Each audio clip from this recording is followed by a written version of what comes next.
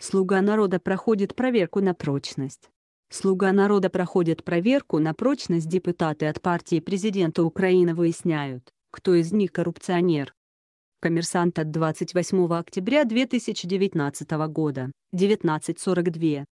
Партия «Слуга народа» проводит вечером 28 октября закрытое заседание своей фракции в Верховной Раде Украины.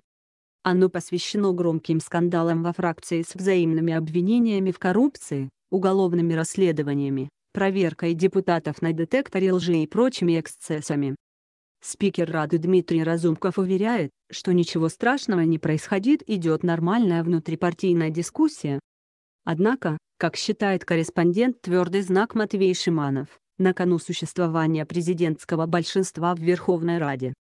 Коррупционный скандал в президентской фракции вспыхнул в середине октября, после того как в интервью изданию «Левый берег» глава фракции Давид Арахаме сообщил, что его коллег пытаются подкупить представители неких групп влияния. Цель последних не допустить принятия пакета законов, осложняющих работу офшорных компаний и вносящих уточнения в процесс оценки стоимости недвижимости. По данным господина Рахами, его однопартийцам, входящим в Комитет по финансам, налоговой и таможенной политике, предлагались взятки в размере 30 тысяч долларов. За пропуск тех заседаний, в ходе которых рассматривались эти законопроекты. Депутат рекомендовал журналистам следить за результатами голосования и обратить особое внимание на тех их слуг народа, кто не придет на голосование или выскажется против принятия законопроектов. Глава фракции «Слуга народа» в Верховной Раде Давид Арахаме. Фото – Иван Коваленко, коммерсант. Господин Дубинский, кстати, является заместителем главы упомянутого в заявлении Сабкомитета Рады голосовал против принятия офшорных законопроектов. Вскоре после этого голосования он сообщил, что офис президента Владимира Зеленского потребовал от него и его коллег по комитету пройти тестирование на детекторе лжи, чтобы доказать отсутствие материальной заинтересованности в отказе поддержать проекты.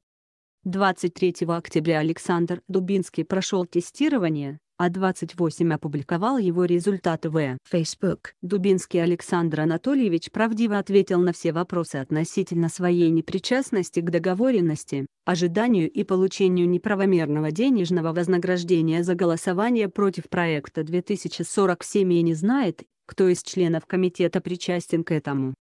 Дополнительно установлено, что за время работы в Верховной Раде опрашиваемый не получал денежных вознаграждений или каких-либо других за содействие в продвижении законопроектов по просьбе каких-либо лиц, говорится в этом документе. В один день с господином Дубинским тест на детекторе лжи прошли и ряд других депутатов, но результаты этих исследований нигде не опубликованы. Тогда же тест собирался пройти и Давид Арахамион и Александр Дубинский в эфире одного из украинских телеканалов договорились о совместном испытании на полиграфы. Надо сказать, что два эти политика не очень симпатизируют друг другу. По данным «Твердый знак», Александр Дубинский был одним из главных претендентов на пост главы фракции, однако в конце концов в офисе президента решили назначить на эту должность не связанного с Игорем Коломойским журналиста, а бизнесмена и волонтера Давида Арахамию. Однако господину Арахаме в прохождении теста в тот день было отказано у полиграфолога отсутствовали вопросы, подготовленные для главы фракции, поэтому его тест был перенесен на следующий день. Вопросы для испытания Давида Рахами подготовили Александр Дубинский и его коллеги по Комитету по финансам, налоговой и таможенной политике. К вечеру 28 октября результаты этого исследования еще не появлялись в открытом доступе. К проверкам на полиграфии, которые, к слову, в украинских судах не рассматриваются в качестве доказательств, оказалось приковано так много внимания, что комментировать тестирование на детекторе лжи пришлось главе партии «Слуга народа» Дмитрию Разумкову. Выступая в эфире телеканала ICTV, он раскритиковал своих коллег, устроивших выяснение отношений при помощи полиграфа.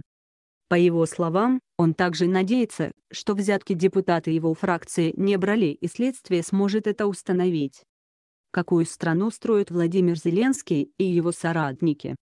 Господин Разумков не скрывал своего недовольства скандалом, спровоцированным двумя депутатами из его партии, ведь глава парламентской фракции открыто обвинил своих же коллег в коррупции, но сообщил, что не считает это свидетельством внутрифракционного раскола, и добавил, что не рассматривает возможность замены Давида Арахамии на кого-то другого. Я не думаю, что сейчас можно говорить о том, что фракция разваливается. Такой большой фракции никогда не было в украинском парламенте. Сегодня у нас 252 человека. В такой большой фракции всегда будет дискуссия, заметил господин Разумков. Коррупционные скандалы вынудили партийное руководство созвать сегодня вечером срочное заседание парламентской фракции «Слуги народа». Журналистов и депутатов от других фракций туда не пустили. За несколько часов до начала встречи источник «Твердый знак», близкий к офису президента Украины, сообщил, что на этой встрече депутаты от «Слуги народа» собираются в самый последний раз напомнить о том, что руководство государства не собирается терпеть коррупцию в президентской фракции. Президент потребовал навести порядок и всех, замазанных взятками, невзирая на фамилии и заслуги, вышвырнуть из Рады и отдать под суд. Начали с полиграфов, но этим дело не закончится. К расследованию подключатся специалисты из соответствующих органов. Есть готовность превратить фракцию в эталонно честную, даже если для этого некоторых из депутатов придется отправить за решетку, предупредил источник твердый знак.